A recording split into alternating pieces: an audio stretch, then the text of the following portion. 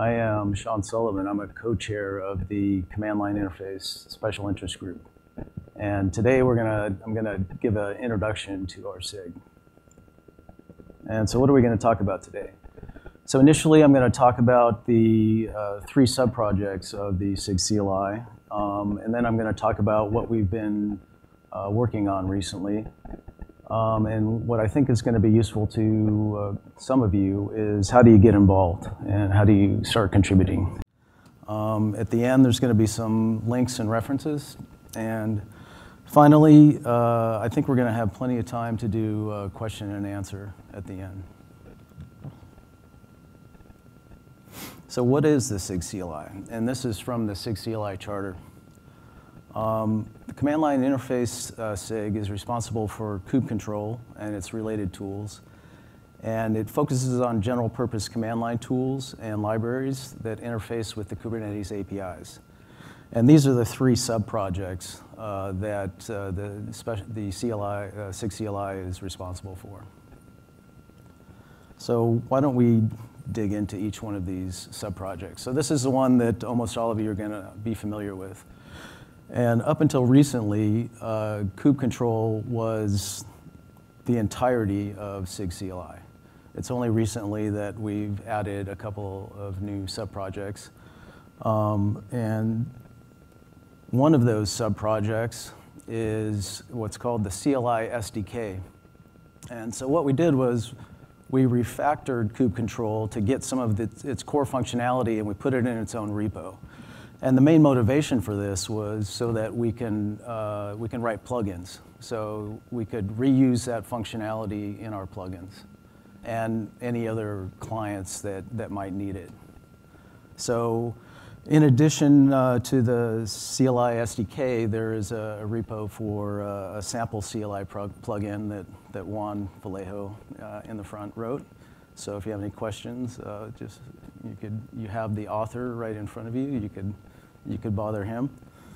Um, and so the third sub-project that the SIG CLI is responsible for is relatively new, and I think I'm going to spend a few minutes trying to go over it because it's so new and most people don't have any context. Um, and it's called Kustomize. And so Kustomize lives in the space of uh, resource configuration management tools. And some other tools in that space are like Helm or KSonnet. And Kustomize has a different approach to uh, resource management, whereas Helm and KSonnet and other tools usually do their configuration management through templating. Kustomize is actually, it, it uses patches so that you don't have to modify your, your YAML um, as you would in, in other tools. It's actually real configuration that gets combined in different ways. And, uh, and so, it, it, like I said, it has a, a different uh, approach than the template-based uh, configuration management tools. And so when I looked at the README for Kustomize, uh, I saw one of the lines was um, that it's like make in that it what it does is declared in a file, and it's like sed in that it emits text. And to be honest, I was, I was a little bit confused with that, and so I actually talked to some of the, the main developers on it. And, and so what, what they meant was the make file is a special kustomization.yaml file, which describes how each one of these other, like a service.yaml uh, or deployment.yaml is going to be put together. Um, and so actually I'm going to try to, there's going to be a simple example here. Um, again, this is from the Kustomize uh, README. And as it shows, there is a, you know, the customiz kustomization.yaml is kind of like the make file, which describes uh, how this process is going to work. And it describes, you know, what, what are the resources that it cares about. And here it's deployment.yaml and service.yaml. And here are the, the two resources themselves. Um, and then actually in this example, it doesn't really show it, but you can, for instance, add uh, a prefix so that in your production cluster, you have you know, the, the actual name of the, uh, of the resource is going to be prod WordPress or staging.wordpress. Um, and so, as you can see, the YAMLs are actually, uh, uh, they, they, have no templating in them, and they are valid YAML, uh, configuration YAML. So, so this, this example is going to be fairly uh, simple, and I'll point you in the direction of, of how we can, uh, how you can find out more if you're, uh, if you're interested.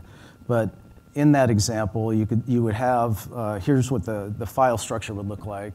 It would have that kustomization.yaml and then the other resources, uh, service.yaml, and deployment.yaml. And then in order to emit the valid uh, resource configs, you would call kustomize build. So, so that's slightly, that, that's going to be not completely true because as I'm going to describe later on, one of the things we're working on is combining kustomize into kube control so that you can, you can use it, and I'll, I'll get to that in a bit. That's, I know that's probably slightly confusing for now, but hopefully I'll address it later.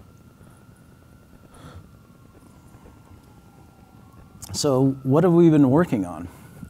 Well, I first wanted to, to discuss kube control plugins. Um, so Tomorrow at uh, 10:50, there's going to be the SIG CLI deep dive, which will more thoroughly dig into uh, uh, plugins, um, and that'll be uh, uh, at least partially presented by by Juan here in the front seat. Um, so another initiative that we've been working on, and I've been working on personally, is that we've been trying to move the kube control library out of Kubernetes core into its own repository um, and trying to break the dependencies that we have in, in kube control, that the dependencies on the, the core Kubernetes library. Um, and I'll, I'll give a little bit more information on that in a second. So we've, we've actually um, moved some of the functionality that is uh, in kube control into the server to make the server more of a thin client um, and to, to be able to, so that other clients will also be able to easily uh, reuse this functionality. Um, and uh, along that same vein, uh, that's what uh, we've done with kube control apply. So kube control apply is now, which is you know our main uh, merging and, and creation, declarative merging and creation ability uh, and command that functionality is all moving into the server. Um, and most of that development is actually being done with the API machinery team, but it, it certainly affects kube control. So uh, finally, uh, one of our recent initiatives is that we are integrating uh, kustomize the, the aforementioned customized sub-project into kube control. So let's dig into kube control plugins for a little bit. Um, so our new uh, mechanism for implementing plugins is Git style plugins. And what, is, what does that mean? So that means that when you create a binary uh, that is a plugin, as long as you put it in your path at, and it has a particular uh, name, uh, naming convention, then it will be run by kube control. And so an example would be, um, if, like for the sample plugin, let's just pretend that it's uh, your subcommand or your plugin is, is called command foo. So you would create a binary, it could be a bash script, it could be in any language that you like, um, as long as the, the path, uh, as long as it's within the path, kube control will first try to run it as a core command. If it doesn't find it, then it's going to start searching through the path for a particular binary called kubectl-foo. And if it finds it, then it'll pass the environment variables and it'll pass the parameters onto that plugin. So these are more Git style, more flexible plugins. And as I mentioned before, uh, there's going to be a talk on, on that in depth tomorrow at 1050. So the kube control, plugins were um, the main motivation for the refactor of kube control into the CLI runtime uh, repository so that the plugins can reuse major kube control functionality. Um, so we've also begun a, uh, a manager for plugins so that we have kind of day two functionality, kind of how to update, how to discover plugins. Um, I'll be honest, that's, that's pretty, um, it, it's in a very protean state. It's not, it's not well formed. Um, and uh, if that's something that you're interested in, please see me afterwards. I think that they are looking for developers in order to, to take that to a better state. Um, and I've already mentioned the deep dive tomorrow. So, just to dig in a little bit more about what we're doing to move the kube uh, control code base into its own repository. So, Currently, this, uh, the kube control code lives in two locations that are in Kubernetes main, Kubernetes core. And because of that, it's kind of grown to depend on things that it shouldn't depend on. Um, and so that's actually our biggest challenge in, in trying to move it into its own code base is that there are quite a few difficult to untangle dependencies um, but we're actually pretty close to it now. Um, and, and the advantages we feel that we'll have by moving kube control into its own code base are we, we feel that we'll have faster de uh, development velocity, and we think that we can simplify the code base. And so if you're interested, there is this umbrella issue that uh, describes this effort. So just to talk a little bit more about um, what we're doing in moving functionality into the server. Um, so we feel that we don't want a thick client. So whatever complications or complexity that we have in the client, make it difficult for other clients to actually use that functionality. For instance, like kube control apply. So if there were another simple client that wanted to, uh, to uh, duplicate the, uh, all of the code that in, in the uh, client apply, it's just not possible. So, but if, as long as, if it's just an endpoint on the server, then it's significantly easier for uh, other clients to be able to, uh, to use this functionality. And so the, the two efforts uh, currently underway are, and, and we've already done most of this, we've moved uh, printing to the server side. Um, so all of the, the logic that knows about particular fields to print, that was a significant amount of complexity to be in, in kube control, and it's been moved to the server. Um, and, and again, Juan is, it was central in that effort. Um, and we still have a fallback now in kube control, but eventually that's gonna, that, all of that complexity is gonna go away in our client. Um, and it's, again, it's the, the same motivation for moving apply to the server side so that it can be reused by other clients and, and only maintained in one place. So one of the, the efforts that's, that's currently underway is the as I mentioned, our previous uh, sub-project customized the template-free YAML uh, configuration sub-project. We intend to move that into uh, our, our standard client, the, the kube control client. And so what, is, what does that mean? So I tried to give an example here of what it would mean. So one of the ways that we, uh, we send our configuration to the API server is, is with apply, and we'll do it with a minus F and then the directory that will have numerous YAML uh, configuration files. Um, so if we are able to integrate this tool with kube control, then we can actually, if you have your kustomization.yaml, kind of that, the, the analog being that make file, it will actually combine them in, in uh, the way that's described in that kustomization.yaml before it's applied. So it's actually transparent. So the only way, uh, so, so if you want to, to use this, then you would organize your, uh, your config uh, with kustomize or uh, with kustomization.yaml, and that functionality will automatically be called if it finds the kustomization.yaml in that directory. So I hope that was, so, so if you, if you have any questions, then we have the, the Q&A session uh, later, and then I'm, again, I'm going to be here afterwards if you guys, if that wasn't clear. Um, so, so this is, I think, near and dear to a lot of people's heart, which is how do you get involved? So I'm going to mention some resources here, um, and, and hopefully uh, this will give you an ability to how to start. So let me first uh, let you know that we recognize that there are, there's quite a gap between being a competent software developer and being able to get your first PR in the SIG CLI or even elsewhere in the Kubernetes code base. There, there, it's, it's a major gap. And we recognize that we need to do better in providing resources for you to, to actually bridge that gap.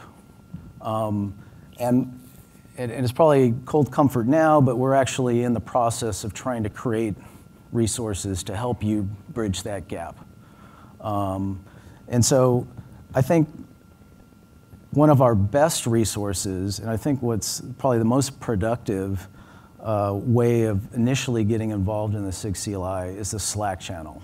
So sometimes there, will be a lot of discussions of the minutia that is going to be kind of not as, uh, you know, might not be as, as useful to, to begin with, but you'll be able to identify who it is that can help you with your questions. And in addition to, to the Slack channel, uh, we have our biweekly meetings on Wednesdays at 9 a.m. Pacific time. And I think that that's actually a, a great way to, once you, you sit in on the, it's the, the Zoom, once you sit in on the, the video uh, chat, you will actually get an idea of you know, what we're working on. And, and you could even you know, pipe in and ask questions. Um, yeah, and in addition, here, let me just open this up and see if we can.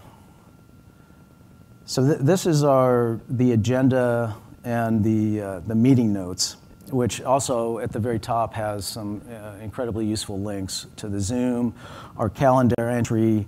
Um, the test playbook is, is uh, how we keep track of the test grid uh, that we have for, for SIG CLI.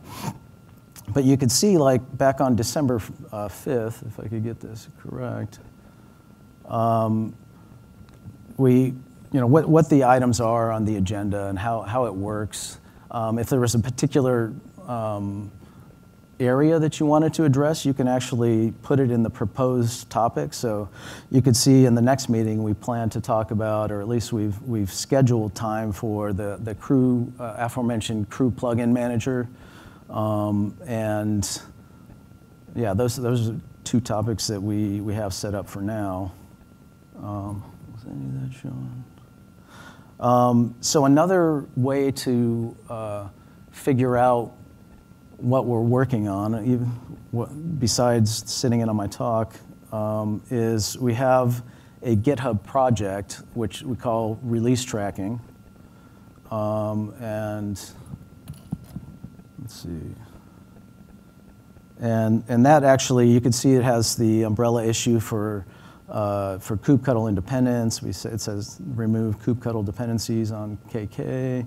Uh, there's the updating the plugin mechanism. Um, and so here's the, the things that we're working on right now. And we also have a prioritized uh, bug list. So one of the things that you may want to look at, which is uh, the issues, uh, the kubectl issue, kube control issues, and the label good first issue. So right now, we only have two of these issues which are uh, of this label, but we plan on putting more effort into ensuring that we have, uh, we've curated and triaged our issues so that uh, everybody would know what are the issues that would be best to work on to start off with. Okay.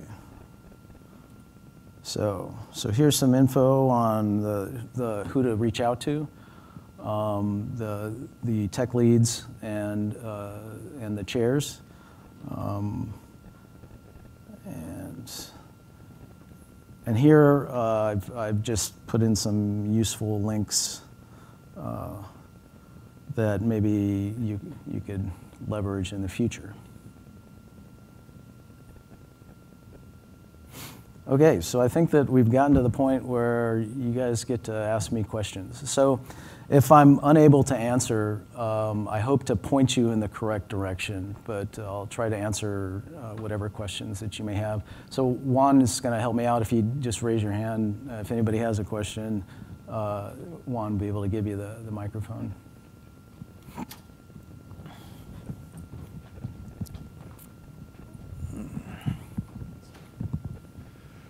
What are the backward compatibility implications of moving functionality to the server? Uh, Or what, what's the goal? Like, uh, what, what are your thoughts on backwards compatibility over this long-term? So, so backwards compatibility, excuse me, backwards compatibility is a major issue. That's, it's a good point. Um, what we usually do is, so in Kubernetes, the standard for skew, uh, version skew is that um, Kubernetes will uh, support both like one version prior and one version after. So like a version 112 would also support 113, 112, and 111. And if it's beyond that scope, then we, we don't guarantee anything. Um, but it requires several releases. Once you, once you move functionality to the server, um, then you're going to have to, we usually have fallback to the client side. It's like, oh, this server doesn't support it. Um, and we will have that fallback for several releases until it falls outside the window.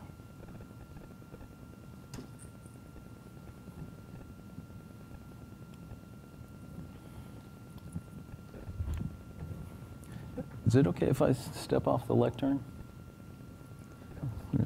Uh, As far as moving the print functionality to the server, does that mean that formatting is done on the server, or does that simply mean that the selection of the fields is done on the server? Because I've never seen any way right now to output like JSON or XML instead of like pre-formatted tabular, and that seems really unfriendly. So, so it is actually a new Go struct called a table. So it's just tabular. So, yeah. Is, is that unfriendly? So you can, um,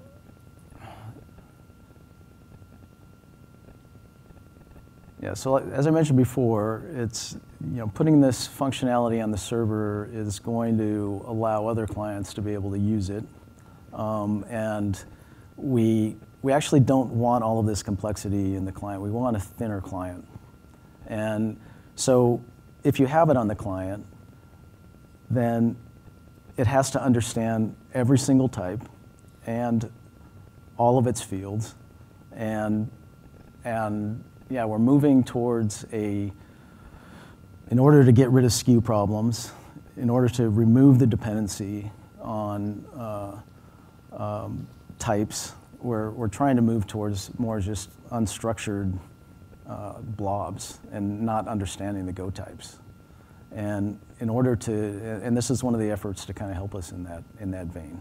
So you look, you look really dubious. Like, I I understand that it simplifies clients, but if clients want to be able to implement their own UI look, it's a separation of UI concerns. If you're, if you're mixing up logic with a display. So the, lo- so the logic is, is on the server, right? It's only in one place. So different clients are going to actually,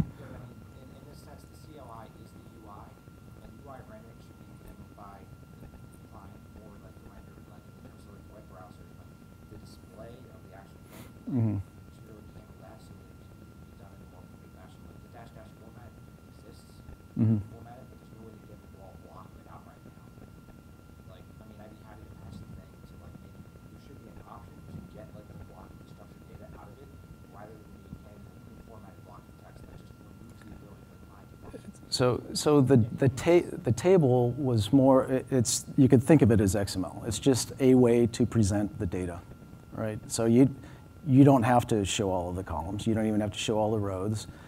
It's, it is a way to organize the data to send to the client. So, yeah, so that's, yeah, that's not, that's the direction that it's going, and, and I don't see it changing. So, but if, if you'd like to discuss it more, and, and especially, you know, I mean, we, we'd love to see feedback. Um, it's, it's already been implemented a couple of releases ago. Um, and so, you know, but if, you, if you'd like to give feedback, we'd love to hear it. Um, and, and if you want to, let's, let's talk afterwards.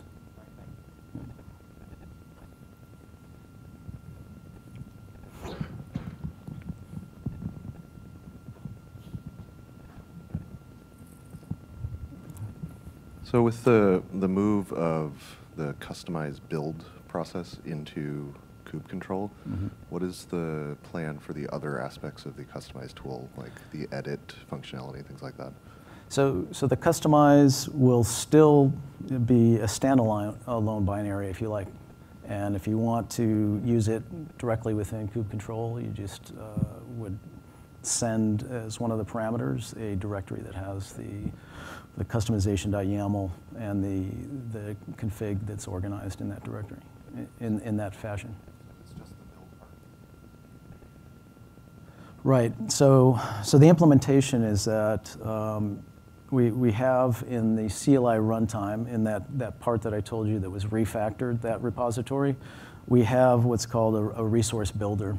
And that resource builder, uh, it's implemented as, as kind of a, a visitor where uh, it will, within the code, you, you will be presented in a for loop with all of the objects that have been uh, currently as they've been like marshaled into Go structs. Um, and uh, so that is the, the touch point for where Kustomize is now connected. It's, uh, so that visitor, normally it would just, it would, you know, take the YAML and, and uh, change it, modify it into the Go struct. Well, it knows now that there's a kustomization.yaml file, and so it will you go through that process to create uh, the full YAML using the customized process, and then change it into the Go structs. Did that make any sense? Okay. So, so we hope to, this is actually under discussion, but we hope to, uh, if we implement it that way, actually, it's, it's a PR that's out now. If we implement it that way, then the customiz, uh, customized functionality will be available in plugins, for instance, because plugins are going to reuse the, the CLI runtime. So how do we know what should be a plugin versus implemented on the API server? So Yeah. the example I'm thinking of is, we kind of talked about this earlier, is being able to address, have a command address all namespaces. Um, that seems like something you would want to be able to hit at an, A, at an API endpoint as well as on the CLI. Right. So, Juan, do you want to mention your, your sample plugin and what that does with namespaces?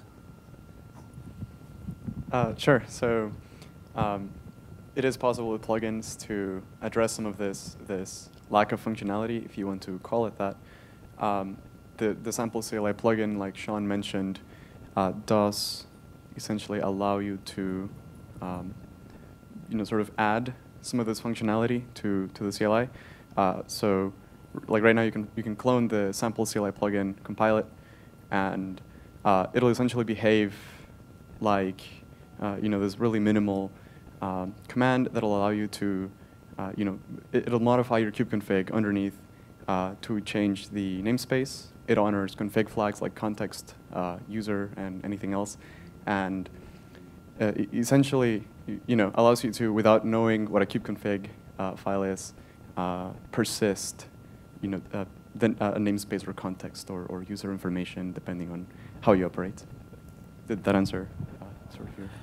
So, so, so I think there's a more general question there too, which is how do you extend kube control? And I think that there's uh, you know, from my perspective, there's two main tools. There's the plugins, and there's the the uh, the controllers.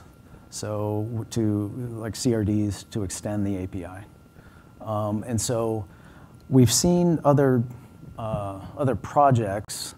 Uh, for instance, Istio, the service mesh, right? They have their own uh, command line interface. And it was built two years ago, so it, it, it kind of forked from kube control. But a lot of the stuff is the same, and now they have to keep rebasing. Um, and so in the future, what we think is a productive approach for these different CLIs and these different projects is to base it on kube control. And if you have specialized functionality that kube control doesn't uh, give you, then you can add binaries through plugins, or you can add, extend the API with CRDs and your custom controllers to implement the business logic of those, uh, those new resources. So, so I think if Istio were starting today on a, on a CLI, it probably would have been better um, to, to have plugins for the Istio-specific functionality, and then also to add some Istio-specific CRDs. Um, and, and actually, I think that that's the way that they're moving, is they're trying to get rid of some of the complexity in their CLI, and I think at, at least partially they've moved uh, to some new CRDs, some new, some new uh, uh, custom resources.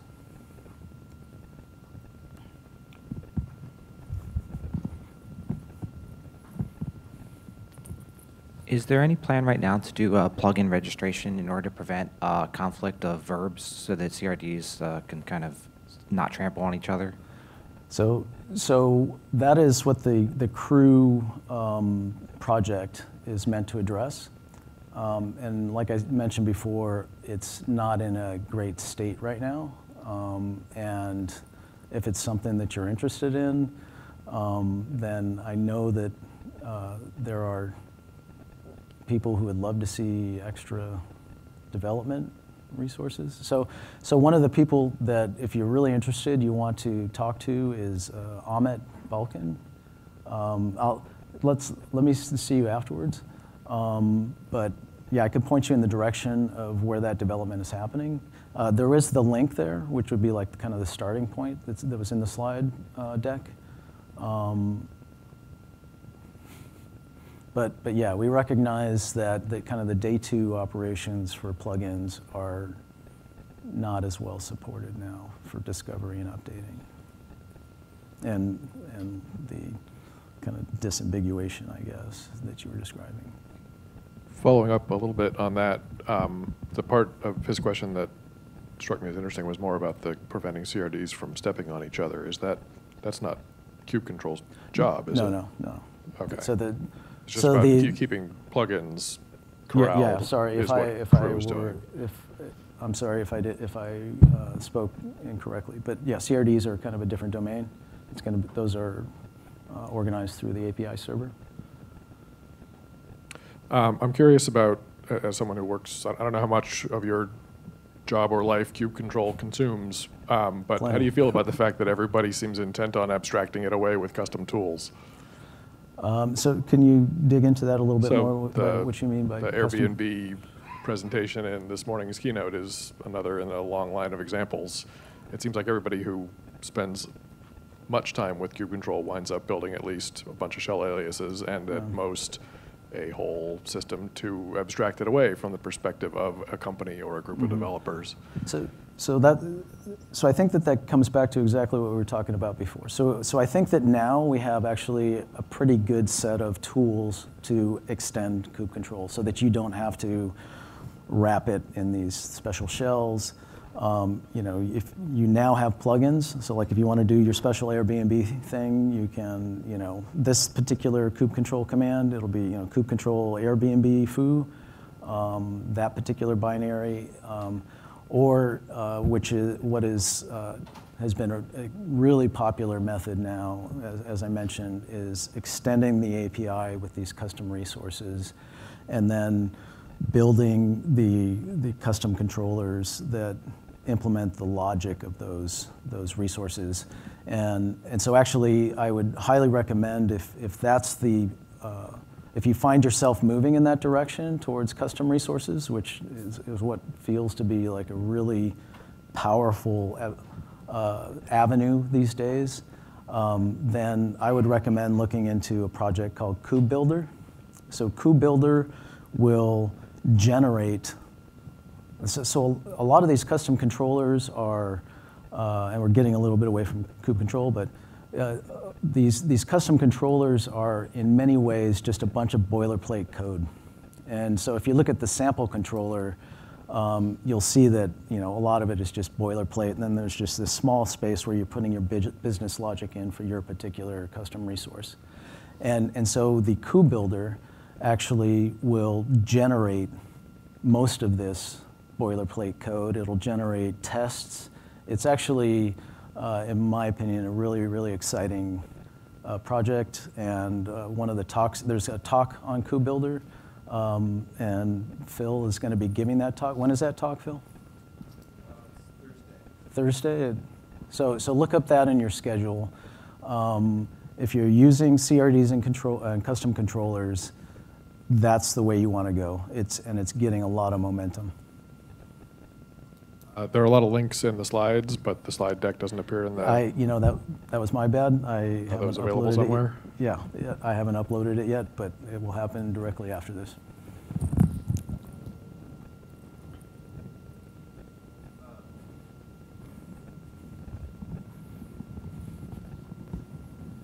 One uh, follow up on the folks building wrapping kube control uh, to build high level tools.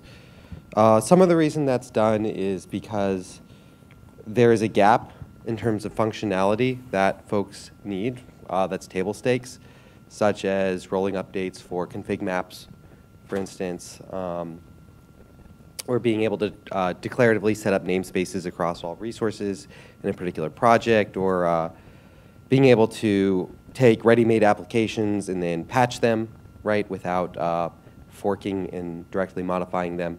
And so you see stuff like Spinnaker, for instance, uh, provides this functionality. Um, that's a, a, need, and, and kube control does not. Uh, in 1.13, that won't be true. There's a long project called Kustomize. It's been developed for about a year now. Um, Lyft just gave a talk yesterday about how they use Kustomize uh, to do a bunch of stuff, such as uh, sidecar injection um, for Envoy, and, and do actually very complicated things, uh, decryption of pulling secrets or decrypting secrets. Um, and, so, and so that sort of functionality is getting merged into kube control directly. So kube control apply now will support a lot of these features that higher level pieces were implementing before. And what we envision is that folks still will want like pipeline tools. For instance, Knative pipelines, folks are going to want that for eventing, um, or they're going to want UIs that uh, help display what's going on. But and, and, we love that, and we're perfectly happy with that. Uh, but that they don't have to re-implement table stakes such as uh, config map name generation, and then they pull that directly from the tool. So, so in my opinion, uh, building your tool around kube control, the the central premise has to be that you're talking to an API server, right? So obviously, kube control is going to be the, you know, the most mature way to talk to an API server. And if, so for instance, with Istio, they, they talk to an API server, but then they also have extra functionality. So I think if they were re-implementing today, it would make sense to use these, these two mechanisms of, of plugins and then the, the CRDs with the custom controllers. Uh, just because, just so they don't have to re-implement talking to an API server, which is, uh, you know, it's not as easy as, as you would you would think. Yeah. Uh, Dave, did you talk about the uh, data-driven commands? Uh, no, I don't. I didn't dig into that. Okay, sorry, I, I should have late. Sorry, everyone. Um, Another thing, instead of uh, plugins, another thing we're looking at is many of the kube control commands take user input in the form of flags or files and then construct one or more requests to the API server, send those requests, then take the response back and format it and output it. And that is actually something you don't need to compile in, in Go code for, right? It's, uh, web browsers have solved this problem, right? With HTML, you want a form or something, you send it to the server, send it back. You don't need to compile every website into Chrome. Um, and so in 114, we will be prototyping and, and probably have an alpha version of uh, allowing users to define templates uh, that are populated from flags and then dynamically uh, provide kube control commands without the need to download and install plugins. Uh, and one issue that helps resolve is uh, like plugins, uh, namespace collisions, I think has been brought up in the past as like, what if two people name their plugin the same thing? But CRDs and APIs already have namespace, space, or they already have naming collision built in, and so we can use that same mechanism to um, avoid collision or, or prioritize the specific uh, commands. So I think we might have gone over a couple minutes. Is that, is that correct? So we'll, uh, we'll, we'll end that here, but I'm going to be here for a few minutes. Anybody who wants to, uh, to ask any further questions, uh, please, please let me know, and uh, if we could get together to talk about some more.